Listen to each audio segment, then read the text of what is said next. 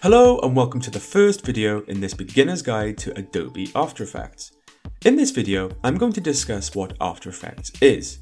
I will also be discussing the difference between Adobe After Effects and Adobe Premiere Pro. So as a beginner, you will have a good understanding of the differences between them, what they are used for, and which one is right for you and your project. So since 2003, Adobe Premiere Pro has been available to amateur and pro video editors and is purely a video editing software. Premiere Pro has powerful tools to edit raw footage to create small or large video productions. If you simply want to focus on video editing and apply color effects and simple transition effects, Adobe Premiere Pro is the program to use. Adobe Premiere revolves around a timeline paradigm where you layer and chop footage together with simple transition effects. Lots of video clips can be placed together on one or few layers, chopped up and moved around quite swiftly. Here is an example of a simple Premiere Pro project.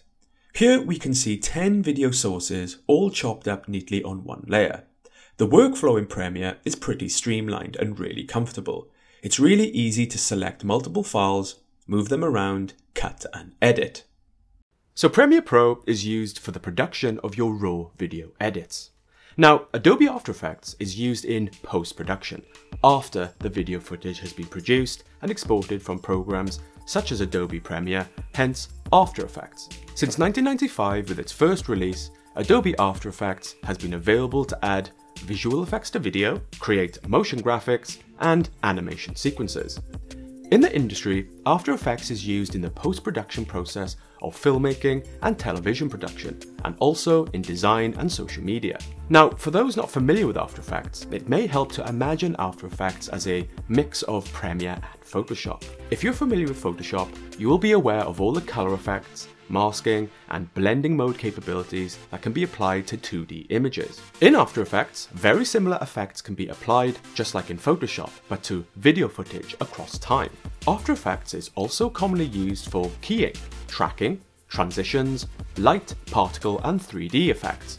Now After Effects is based on compositing and works not only with video footage, but with image, audio, type, and files brought in from other programs like Adobe Photoshop, Illustrator, 3D programs, and also Premiere to create video presentations.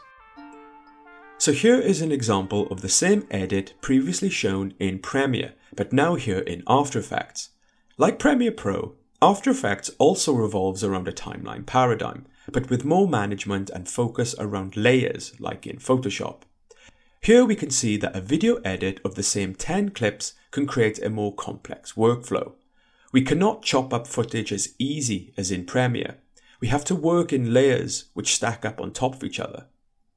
Simple video edits can be quite clunky and awkward in comparison. Now, simple video editing can be done in After Effects, but it is not as streamlined as Premiere Pro. To do proper video editing, you really want to use Adobe Premiere. So Adobe Premiere Pro and After Effects are powerful software tools used for specific jobs. These are two amazing programs, and used together there is nothing you cannot create.